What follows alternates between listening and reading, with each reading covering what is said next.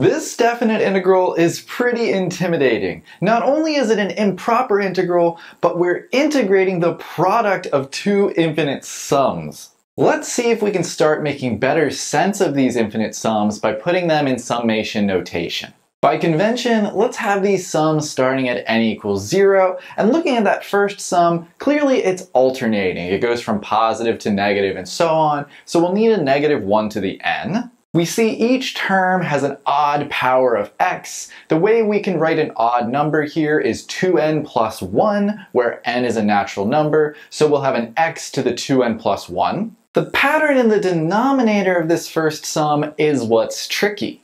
Basically, that pattern goes like 2, 4, 6, 8, all the way up to 2n, the product of this. And the trick here is to factor out a 2 from every single term. We would have to pull a 2 out n times. So we have a 2n times 1 times 2 times 3 times 4 all the way up to n.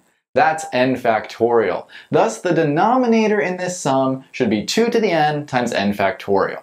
That second sum is similar and follows a similar trick. Here it's non-alternating, we don't have to worry about negative 1 to the n. We have even powers of x's, so if we're starting at n equals 0 for our sum, let's just make x to the 2n. That'll take care of those powers of x's, but again, what about the denominator? If we write out the pattern in the denominator, it's 2 squared times 4 squared times 6 squared, all the way up to 2n squared. We can use the same idea as last time by factoring out a 2 to the n twice, or in other words, factoring out a 2 to the 2n. And then what are we left with inside the parentheses? 1 squared times 2 squared times 3 squared all the way up to n squared. That's actually n factorial all squared. Now we've rewritten our integrand using summation notation after finding those tricky patterns, but we're still not any closer to actually integrating this. Maybe we can use our knowledge of power series to rewrite one of these sums as a function we know and love.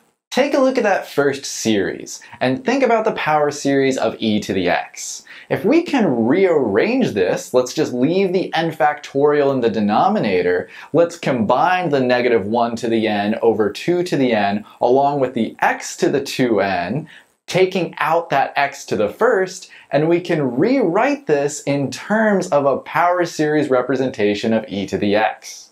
We can take that extra x out front, and what we have is e to the x, but it's not x on the inside, it's minus x squared over 2 on the inside. So really, this first sum is a fancy way to write x times e to the minus x squared over 2.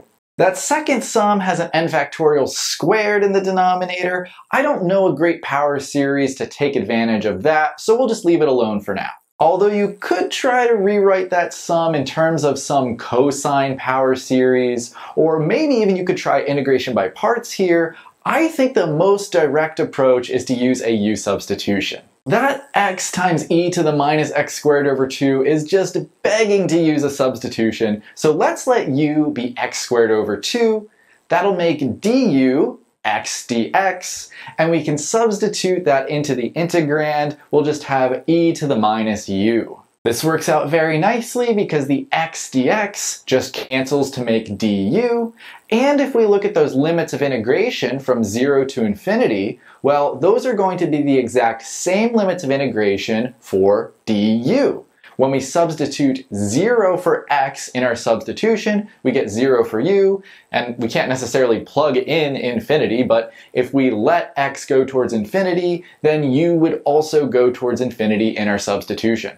Now, thanks to that second infinite sum, we still have some x's lingering about. We'll have to change those to u if we want to integrate this. You might call this back substitution. Let's find out what x is in terms of u. In fact, here's a nice little trick. Since we have x to the 2n, let's just write that as x squared all to the n because we can rewrite our substitution in terms of x squared.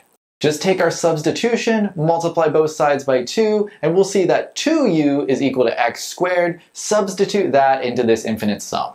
Maybe you'd like to take a second and cancel the 2 to the n in the numerator with one of the 2 to the n's in the denominator, and we're getting a little bit closer. Now something that often happens with these types of problems, let's take that infinite sum and anything that doesn't have a u attached outside the definite integral. In terms of the definite integral, if there's no u, it's just a constant. Now our job is to integrate this, and if you've seen other videos on my channel, you know that this is one of my favorites. This is a different representation for the gamma function. Typically, gamma of n is represented as this definite integral we have here, just with an n minus 1 instead of a single n like we have here. So really, this definite integral equals gamma of n plus 1, which is well known to be n factorial. And we're finally able to deal with that pesky n factorial squared since we can just cancel out an n factorial in the numerator and denominator. And you might think we're done. Indeed, this is a great answer, but we can do even better. Think back to how we originally rewrote that first infinite sum using the power series representation of e to the x. That's pretty similar to what we have here. Keep the n factorial in the denominator, bring the 2 to the n in the numerator, 1 to the n is simply 1, and this is exactly the power series representation of e to the x again, it's just we don't have x substituted in, we have 1 half substituted in, and this sum exactly equals e to the 1 half or the square root of e. I bet that's not the answer you were expecting looking at that first definite integral. And if you like these interesting Putnam integrals, click the video on the screen right here. I'll see you in that one.